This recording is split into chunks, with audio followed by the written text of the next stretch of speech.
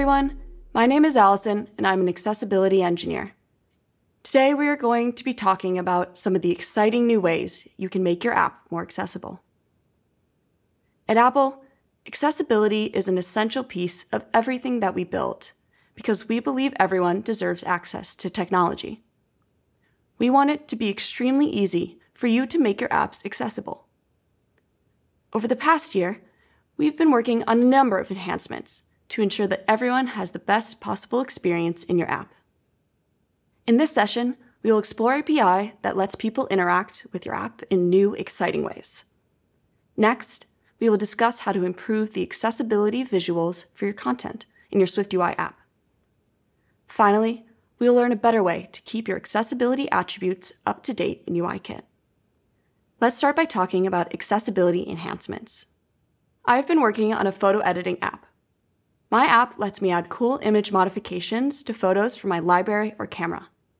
I can apply different filters, change the photo tint color, or create custom sounds to pair with my images using the piano keyboard in my app. Let's discuss a few accessibility enhancements that we can integrate into the app.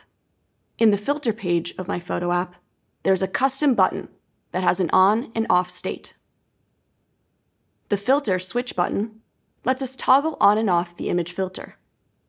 The system does not know the correct accessibility hint and title for this custom UI, and we want to make sure that we provide an accessibility experience that matches that of other system toggles. This is where the new accessibility trait is toggle helps out. We have a struct representing the filter button. In the body of the struct, we create a button that toggles the filter when pressed. The button's color updates based on the filter state variable. We will add the isToggle trait to the filter button in the accessibility add traits modifier. isToggle provides the proper accessibility hint and switch button description. Filter, switch button. Double tap to toggle setting. The new toggle trait is also available in UIKit. In the viewDidLoad method, we set up the button view. Then we set the accessibility traits property on the button to contain toggle button.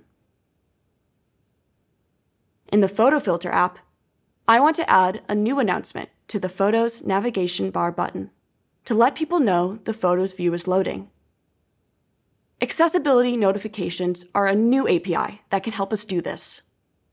Accessibility notifications provide a unified, multi-platform way to create announcements to convey information to someone using an assistive technology in your app. Accessibility notifications can be created for apps running SwiftUI, UIKit, and AppKit. With accessibility notification, you can send announcement, layout change, screen change, and page scroll notifications in a way that is native to Swift. When the Photos toolbar button is pressed, I want to post an announcement. Photos button. Photos. Loading Photos view. We can post the announcement in the action for the toolbar button. To create the announcement, we can use accessibility notification dot announcement with loading photos view as the string parameter. In the app, I also want to create three announcements when the camera navigation bar button is pressed. The first announcement, opening camera, and third announcement, camera active, are the most important. Let's look at VoiceOver's current speech pattern for the announcement. Notice how the second announcement, camera loading, interrupts opening camera. Camera button. Done. Open camera camera active. Now, in SwiftUI and UIKit, you can also set an announcement's priority, which lets you set the importance of an announcement queued to be spoken by assistive technologies. This gives you more control over which announcements people need to hear versus announcements that can be ignored if not spoken in time. You can specify the importance of this information using one of three announcement priorities high, default, and low. High priority announcements can interrupt other speech and cannot be interrupted once started. Default priority announcements can interrupt existing speech, but are interruptible if a new speech utterance is started. Low priority announcements are queued and spoken when other speech utterances have completed, if no new announcements have started. In the Photos app, we can use announcement priority to fix the interrupting strings. We have three announcements made from attributed strings. In SwiftUI, we will set the priority on the Accessibility Speech Announcement Priority string property. Our second announcement, camera loading, is the least important, so we give it a low priority. The last announcement, camera active, is the most important, so we want it to have a high priority. Next, we will pass the attributed strings to the accessibility notification. First, we will dispatch the default priority announcement, then the low priority, then the high priority. Now note how the low priority announcement does not interrupt the default priority announcement, while the high priority announcement does interrupt the default and low announcements. Camera button. Done. Opening camera. Camera active. We can achieve the same announcement order in UIKit. We set the announcement priorities as NS attributed string key value pairs. We use the key UI accessibility speech attribute announcement priority and set the value to the proper UI accessibility priority. Then we pass the attributes to the attributed string initializer. Back in the app, there is an image view that people can physically touch or pinch to zoom in and out. With an assistive technologies turned on, this physical touch or pinch gesture can be hard to accomplish. Now, with the accessibility zoom action, people can zoom in and out on UI elements when assistive technologies are enabled. We will add the zoom action on the image. The image is in the body of the zooming image view struct. We first add the accessibility zoom action modifier. Then, based on the direction of the zoom action, we will zoom the content in or out and post an accessibility notification announcement. Now let's explore VoiceOver zoom capabilities with these changes. Zooming image view, image. Zoom. 2x zoom. 3x zoom, 4x zoom, 3x zoom. We can also add the zoom trait and action in UIKit. We will first create a zoom view, which will contain the image view. Next, we will add the support zoom trait to the zoom view alongside the image trait.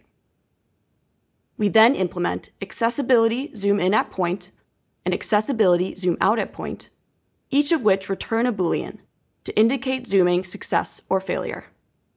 In each of these methods, we update the zoom scale and post an announcement to indicate the zoom change. In our image filter app, we can also create a short sound to add to the image by playing the small piano keys. People can create custom tones for the image using the keys.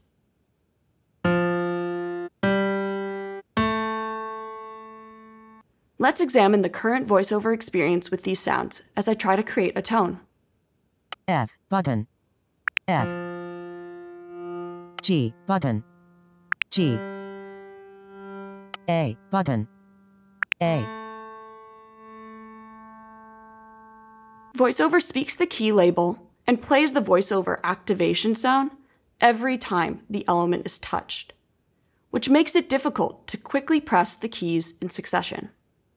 Typically, VoiceOver provides a safe exploration experience but sometimes people need to directly interact with your app to use it properly. For our app, it would be much better if people could directly touch the piano keys without extra speech and sounds. This is a great time to adopt the direct touch trait, named Allows Direct Interaction, on our view. Accessibility direct touch areas will let you specify a region of the screen where voiceover gestures pass directly through to the app. In the default state, VoiceOver both speaks and activates the content of the direct touch element. For our app, though, it would be great if VoiceOver would be silent when someone touches a piano key, so they can immediately hear the tone without having to activate the piano key element first. In addition to the allows direct interaction trait, there are now two new direct touch options that will be supported. First, you can specify silent on touch, to ensure VoiceOver is silent when touching the direct touch area, so that your app can make its own audio feedback. Second, you can specify requires activation to make the direct touch area require VoiceOver to activate the element before touch pass-through happens. This is the code snippet for the keyboard key view. Each key is a rectangle that plays a specified sound. To fix the issue with VoiceOver speaking over the tone every time, we have set the direct touch option for the button to silent on touch. Now, the correct tone plays once VoiceOver reaches the key button, without interference from VoiceOver speech.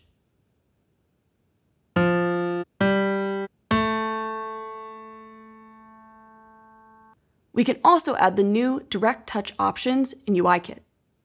We can create the key button as a UI button. Next, we will add the Allows Direct Interaction accessibility trait.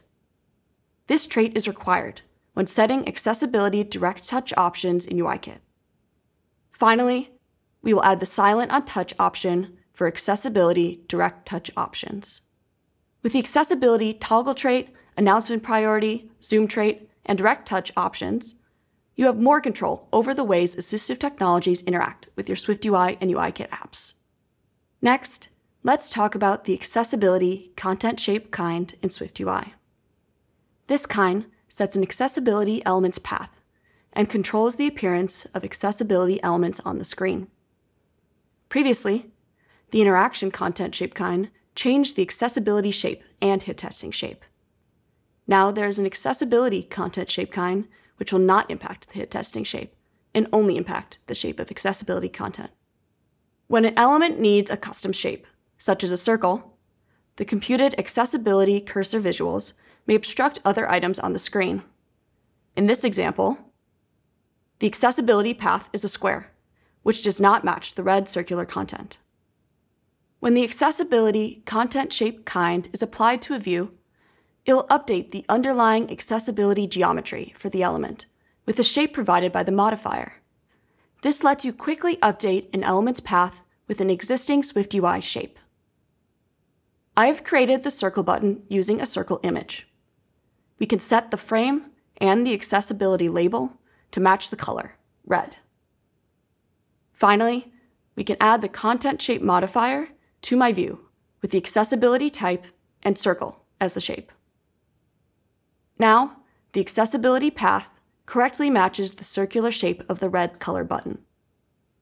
Finally, let's discuss an addition coming to UIKit accessibility, block-based attribute setters. In the photo editing app, I want the accessibility value for the image to represent whether the photo is filtered or not filtered.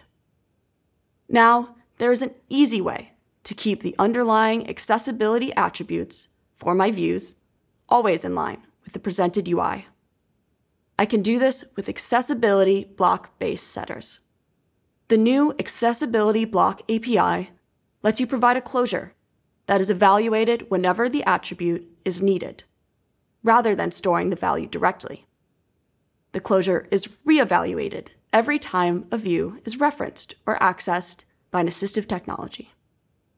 We can simplify things with a closure, created in the viewDidLoad method for my view controller we set the accessibility value block property on the zoom view to keep the value updated based on whether or not the image is filtered. The closure must return the correct type for this attribute, which is an optional string. Notice that we are using a weak reference to self to avoid a retain cycle. Blocks are great to add at the beginning of a class lifecycle to start up a class with the proper accessibility attribute information. Now, accessibility attributes are much easier to maintain. Every time someone moves the VoiceOver cursor to a new element, VoiceOver first looks for attributes set with a closure and reevaluates the closure. Zooming image view, not filtered, image. Filter, switch button. Double tap to toggle setting. Zooming image view, filtered, image.